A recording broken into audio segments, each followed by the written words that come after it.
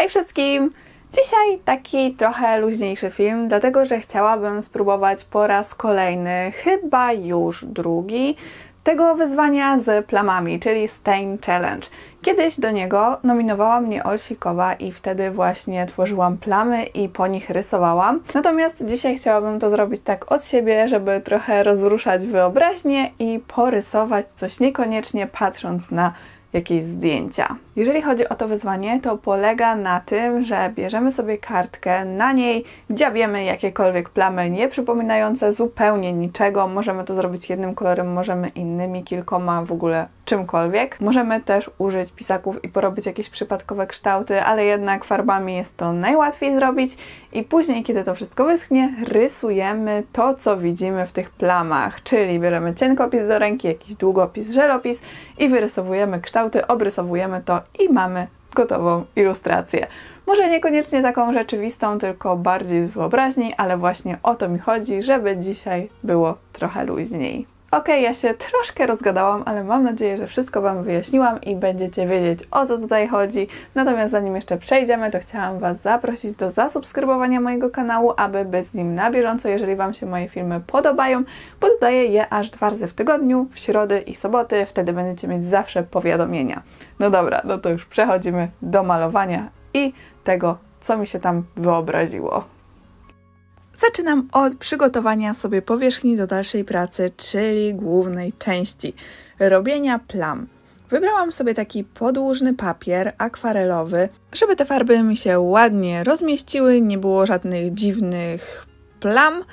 I robię to różnymi kolorami. Od lewej strony takim jasnym, żółtym, później pomarańczowy, później przeszłam do fioletu i zakończyłam niebieskim oraz zielonym. Generalnie wzięłam tylko jeden pędzel, taki trochę większy i płaski, żeby szybciej się to nakładało i robiły naprawdę takie nieregularne kształty, bo w tym chodzi o to, żeby było to zdecydowanie bardzo przypadkowo rozłożone. No i w taki sposób robimy sobie podłoże do dalszej pracy, Czekamy te kilka, kilkanaście minut aż wyschnie i zabieramy się do pracy, czyli obrysowywania wszystkiego cienkopisem. Specjalnie stworzyłam takie połączone ze sobą plamy, żeby móc przechodzić od jednej ilustracji do kolejnej, przez następne aż do ostatniej. I w ogóle uwielbiam, jak jest kolorowo. Więc po lewej stronie zaczęłam od tej plamy przy samej krawędzi i w niej zobaczyłam ptaka. Tylko już Wam od razu mówię, że wszystko nie będzie takie dobre anatomicznie, bo jednak te plamy są nierównomierne i trzeba do nich jakoś to wszystko dopasować. Dlatego na przykład ten ptak ma skrzydło wyglądające na złamane, ale o to tutaj chodzi, żeby to wszystko było takie nierzeczywiste, ale żeby pokazać, co sobie wyobrażamy patrząc na daną plamę. I do tego ptaszka na te malutkie plamy dorobiłam inne ptaki, które również wyglądają dosyć nierealistycznie. Czyli na dole po lewej stronie mamy taką małą grupkę ptaszków. W kolejnej części moich plam zobaczyłam hipopotamy. Hipopotamy będą od siebie odwrócone. Jeden pyszczek będzie po prawej, drugi po lewej.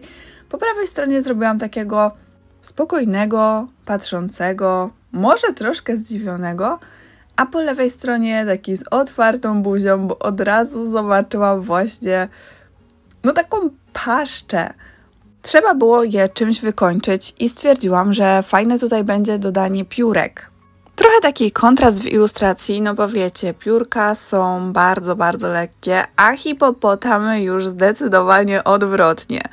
I pomyślałam, że dobrze będzie zamaskować to łączenie, gdzie stykają się głowy, znaczy w sumie to szyje tych hipopotamów. Dlatego tych piórek zrobiłam bardzo dużo. No i one mi się fajnie też łączą z tymi ptakami, które lecą po lewej stronie i tak jakby się od nich może te piórka odczepiały. No dobrze, teraz zejdźmy trochę niżej i przejdźmy do kolejnego fragmentu plam, w których zobaczyłam niedźwiedzie. I już Wam w ogóle mówię, że cała ta ilustracja plamowa będzie zawierała właśnie zwierzęta, bo taki był mój zamysł.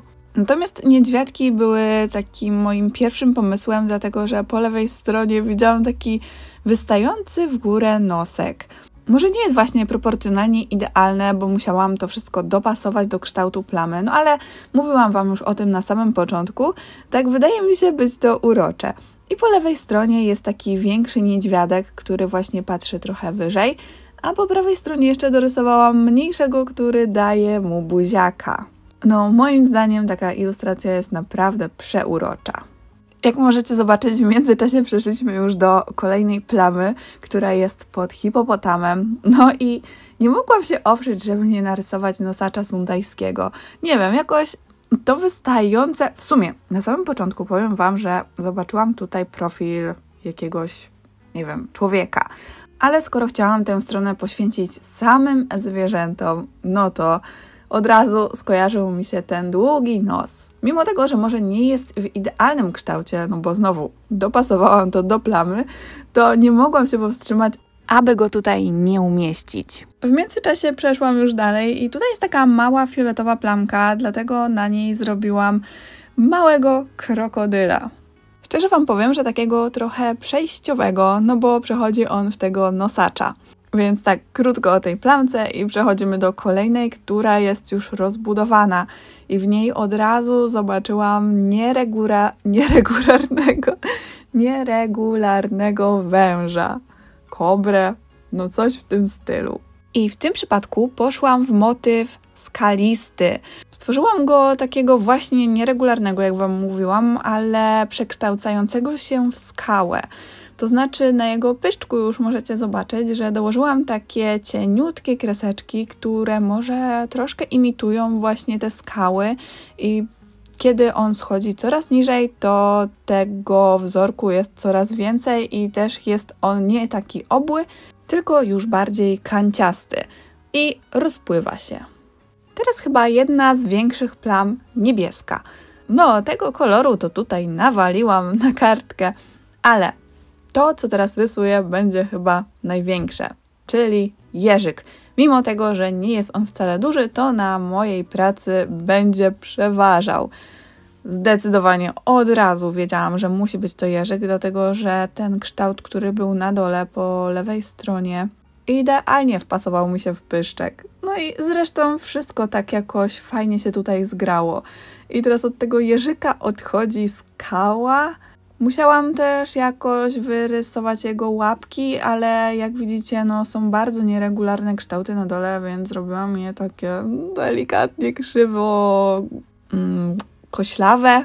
No, nie będę Wam przypominać po raz kolejny dlaczego, ale no, nie mogłam się oprzeć, żeby tego jeżyka tu nie uwzględnić, szczególnie, że mamy wszystkie zwierzaki. Ja tutaj gadu gadu o jeżyku, a kończymy kolejnego zwierzaka, którym jest owca. To znaczy coś na wzór owcy, bo nie jest to idealnie tak, jak to wygląda właśnie. Ale taka owca wyimaginowana i może niefortunnie się złożyło to ułożenie, ale no tak to mi wyglądało po prostu. Teraz już przedostatni element i łasiczka. Zdecydowałam się ją narysować taką skaczącą, spadającą, tylko po prawej stronie zrobiłam jej dwie łapki, czyli robi jakieś tam piruety, z tyłu widać jej ogon i do tego tutaj jak mamy te plamy niebieskie i zielone dookoła, dorysowałam unoszące się w powietrzu schodki z bluszczem, no trochę tego tu się zebrało. Chyba stało się jednym z najbardziej szczegółowych elementów tej całej mojej wyimaginowanej ilustracji, oprócz może tych piór.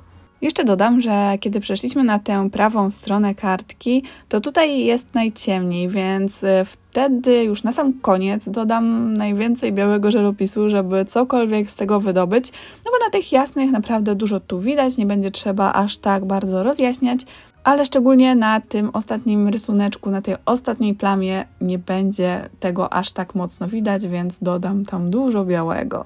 No to idealnie, płynnie, jak to plamy mają w zwyczaju, przeszliśmy do ostatniego elementu na mojej ilustracji i tu zdecydowałam się na taki zegar z kukułką. Mamy coś wystającego na takim podłużnym czymś, więc to będzie nasza wystająca kukułka. Taka, no, z przymrużeniem oka, no bo jednak musi być ten kształt, który jest zachowany jako plama. Do tego zegar jest również w nieregularnym kształcie. W środku mamy okienko, z którego wydobywa się ten ptaszek. Dookoła zrobiłam też takie trochę morskie motywy, trochę jak płetwy wyglądające.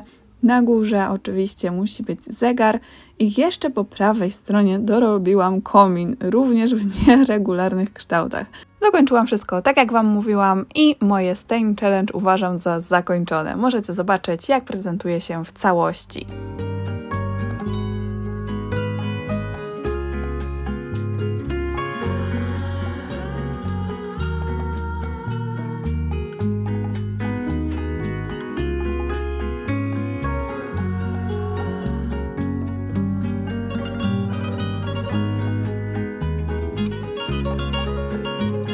No, przyznam się Wam, że naprawdę było to odprężające i takie rysowanie czegokolwiek, co tylko widzimy, jest zdecydowanie fajną odskocznią od takich bardziej surowych, skomplikowanych rysunków. A Wy napiszcie mi w komentarzach, co widzieliście w moich plamach, może, uwaga, można je przestawić w inną stronę. Możemy o 90 stopni, o 180, o 270. Może właśnie pionowo byście coś innego zobaczyli. Ja zapraszam Was na mojego Instagrama i TikToka, gdzie dodaję również inne rysunki, zdjęcia i relacje. No a my widzimy się w kolejnym odcinku w sobotę o 9 i w środę o 15, więc do zobaczenia i pa!